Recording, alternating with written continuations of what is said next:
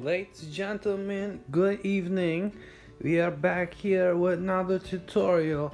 This is very very special tutorial from request on how to paint laptop. Okay, so what we have here is our three materials we will be needing for this is number one is a laptop number two is it a tape so we can tape laptop and the three is a paint okay? So this one is very very special because we reached uh, promotion at new job and now we have gold edition laptop. So now we paint laptop gold okay? I recommend that you paint laptop uh, every one to three years depending on a usage okay I paint my last two years silver. You see it come very nice silver. And but now we have gold because we become gold edition.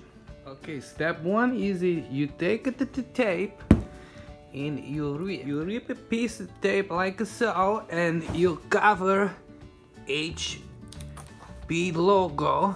So we're gonna counter lawsuit okay and that is step, step one. Number two is you rip two more tapes and you tape on side of laptop where is computer buttons you know um, so you not clog up buttons. You rip the axis off like so. Rip off and it very look very nice. It cover all plugs and a CD-ROM drive. And then we do same thing on other side like so. You cover headphone jack and etc and everything is covered nice nice like this. And you cover there. And same thing you rip the axis Okay, now that that tape work is taken care of, you can see it's very nice, sharp, both sides and the logo. Next step is to paint. So you shake the paint, eh? you shake it nice. You get the paint in there, mix, bashi, remove cap, and you hold about 3 to 6 inch and you make very nice easy like light stroke across. Okay you cover very lightly until you see start to cover. You start to cover it. Okay this is very important. You keep it consistent and you go in one single direction side to side and you cover it evenly and avoid the bubbles. And very nice like so. You see I put a little more extra coat and that is, is it. You can okay now that we have the top fully paint it is time now to open it flick open like this and now it is time for us to paint the inside.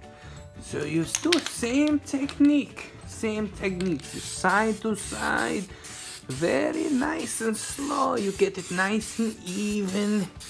You just nice and slowly cover it. Make sure to get trackpad because it, new coat makes more sensitive, easy to touch. So easy to type. You see all the new how when paint is dry, how the letters just come right through the paint. And there's already paint a little screen. You, you paint for exactly five seconds, 5K and 5K. And that's how you upgrade to 5K. So there we have.